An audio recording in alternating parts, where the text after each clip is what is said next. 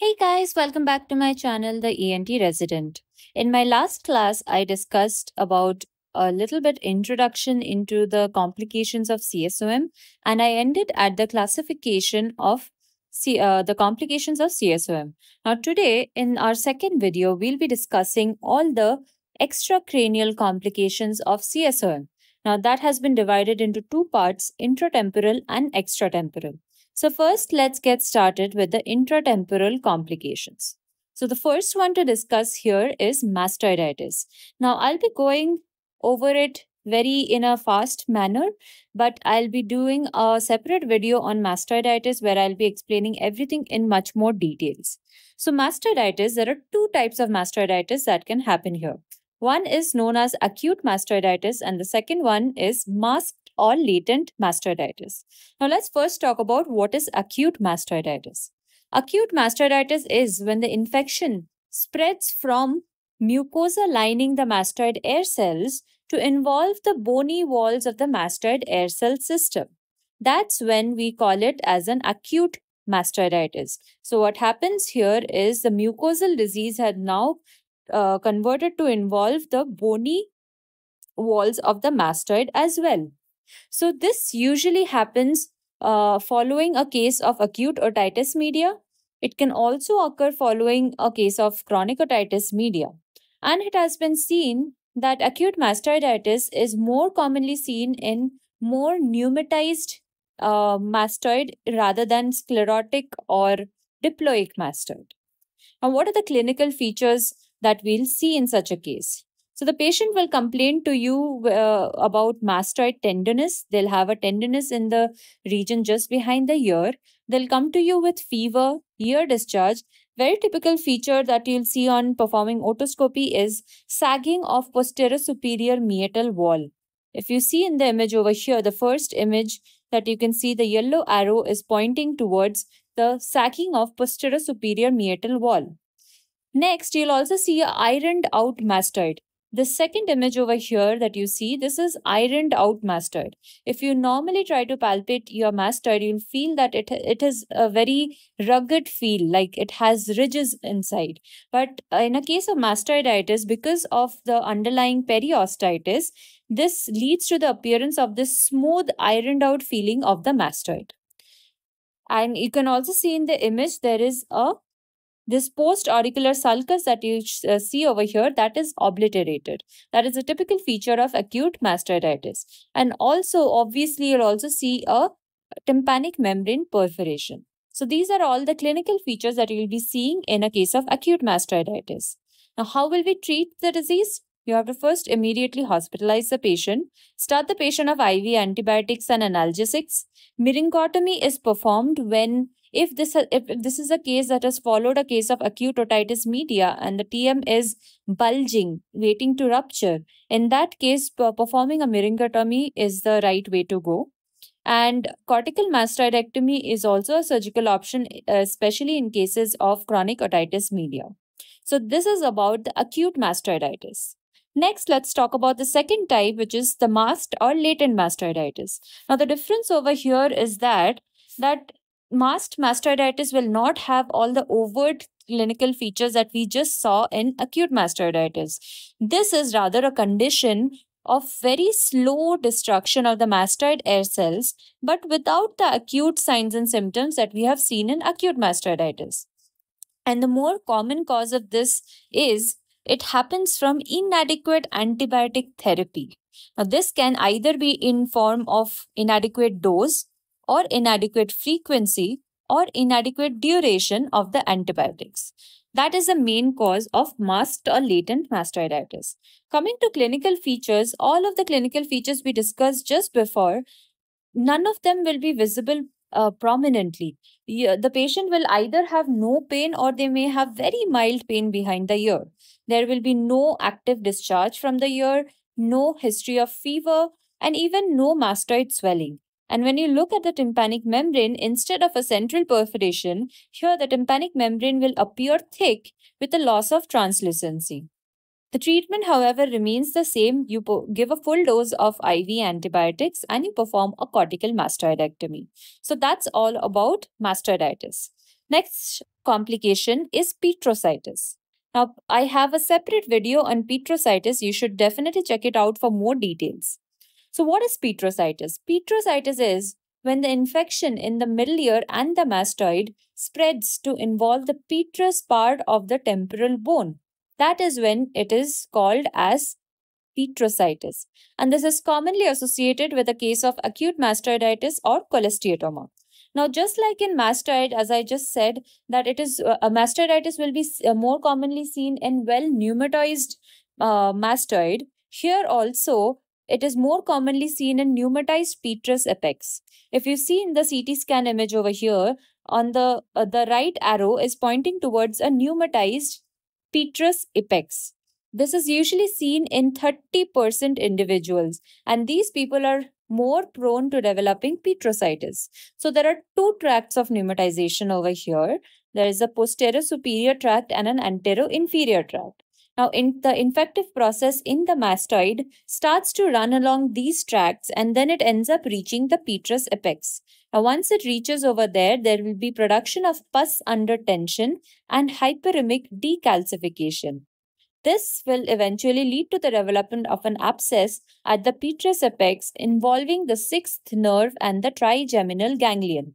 And this is the reason for its classical presenting feature that we see in petrositis and the syndrome here is known as Gradenigo's syndrome.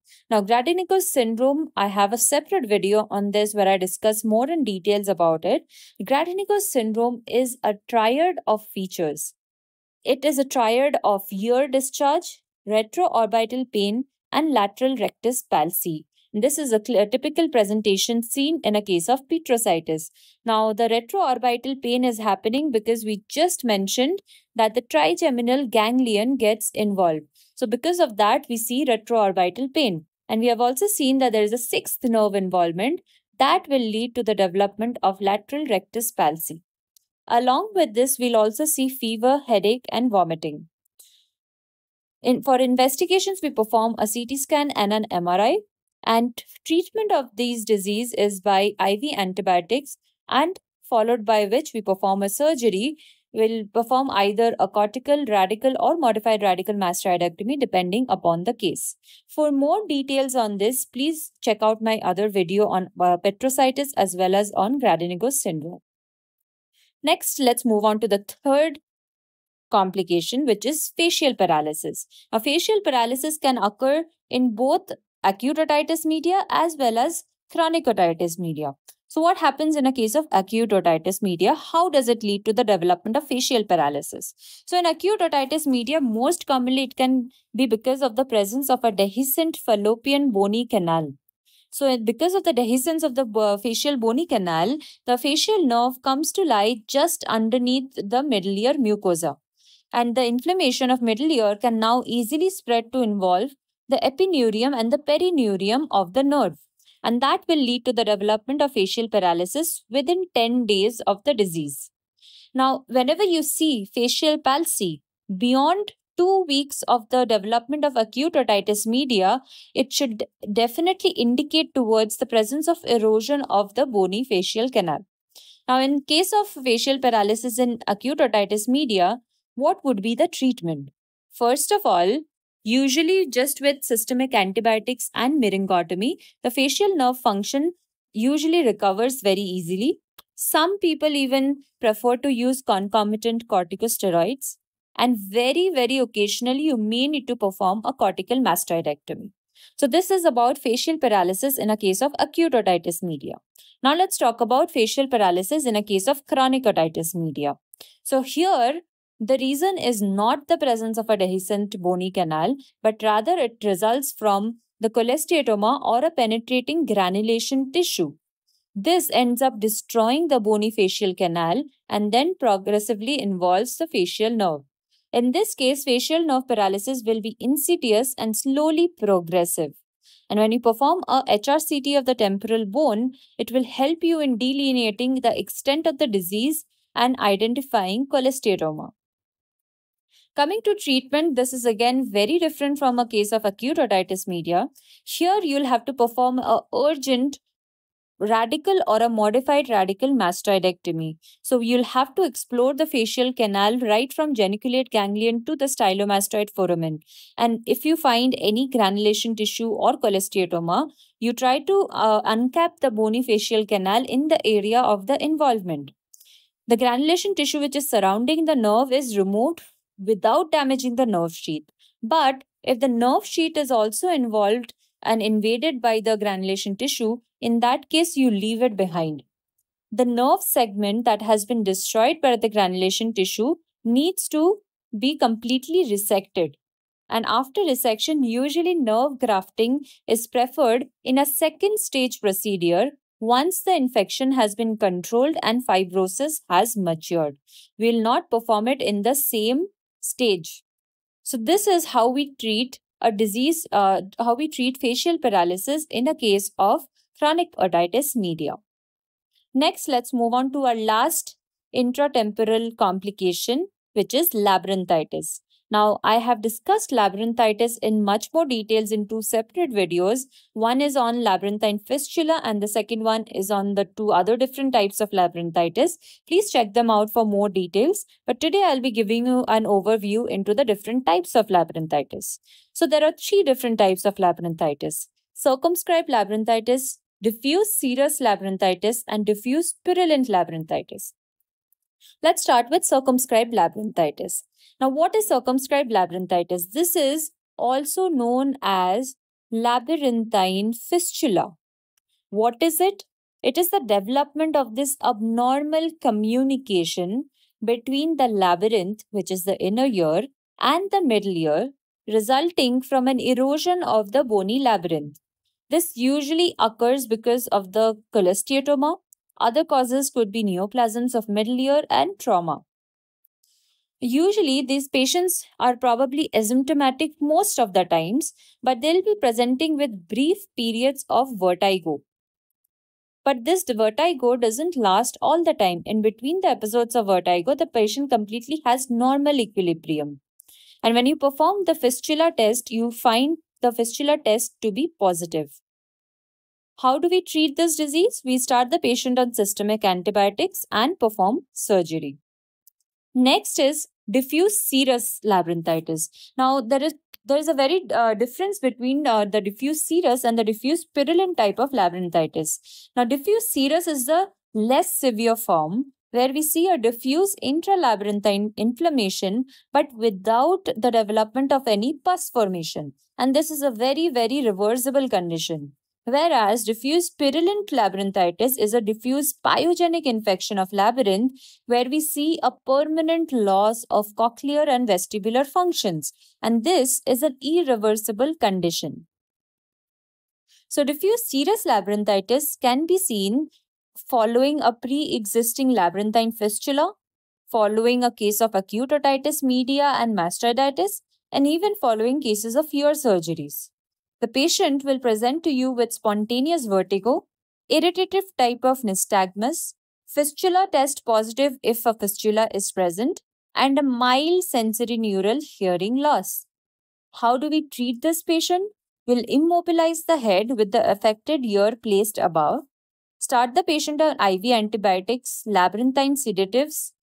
Perform a myringotomy if it has uh, followed a case of acute otitis media and perform a surgery like cortical mastoidectomy depending on the need of the patient. So this is about a, diffuse serous labyrinthitis. Now, diffuse purulent labyrinthitis, as I told you, is an irreversible condition. It is uh, where we see a permanent loss of cochlear and vestibular function. We cannot get back from this. We'll discuss much more in details what are the different stages of disease in case of diffuse purulent labyrinthitis in a separate video. Usually, this is seen to be following a case of diffuse serous labyrinthitis. And the treatment is usually the same as serous labyrinthitis. Along with it, very rarely, we may also require to do a drainage of the labyrinth. So, this is all about the intratemporal complications that we see in a case of CSOM. Next, let's move on to the extratemporal complications. Now, there are six different abscesses that happen in relation to the mastoid. These uh, end up forming all the extratemporal complications. Let's start with the most common one, which is the post-auricular abscess. I have a separate video on abscesses in relation to mastoid. Please check that out for more details and more in-depth explanation about this topic.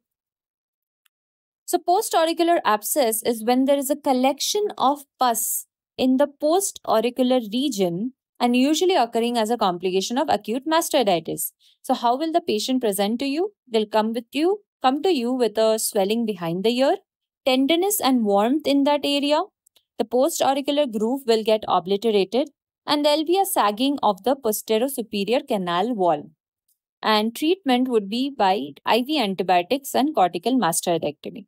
This is the most common abscess that we see in relation to mastoid. Second one is a zygomatic abscess. Now, zygomatic abscess is a collection of pus that we see happening in front and above the pinna. If you see in the image over here, that is the location of zygomatic abscess. This occurs in the temporal fossa over the zygomatic arch. And patient can also complain of associated edema of the upper eyelid. Treatment is the same. We give antibiotics and perform surgery. Third is Bezold's abscess. Now, Bezold's abscess is a deep neck abscess. This happens if you see in the image over here, erosion of the medial aspect of the mastoid tip, and then the pus from acute mastoiditis starts tracking along the sternocleidomastoid sheath. That leads to the development of this deep neck abscess in the upper part of the neck. So the patient will come to you with a painful swelling in the upper part of the neck and torticollis on the side of involvement. Torticollis meaning restricted neck movement. And how will we treat the disease? We'll give IV antibiotics, we'll drain the neck abscess and perform a mastoidectomy. Next is Luc's abscess. Now, what is Luc's abscess? This is a subperiosteal abscess which develops inside the external auditory canal. Here, it is important to remember that there is no bony destruction of the mastoid cortex over here the patient will just present to you with a localized swelling in the posterior superior wall of the external auditory canal.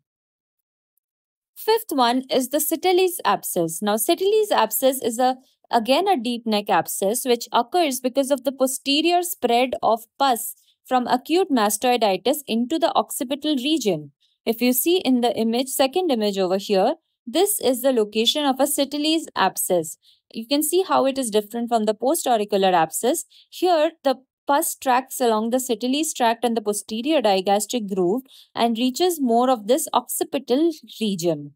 This is known as Citelli's abscess. Last of all, it can also lead to the development of parapharyngeal or retropharyngeal abscess. You should check this out in a separate video. Uh, I have made two separate videos on parapharyngeal and retropharyngeal abscess. Now, how does this happen? This happens because of the infection of peritubal cells, again due to the development of acute coalescent mastoiditis. Now, this completes our discussion on all the extracranial complications of CSOM. In my next class, I'll be discussing about the intracranial complications of CSOM and wrap up this topic. See you in my next video.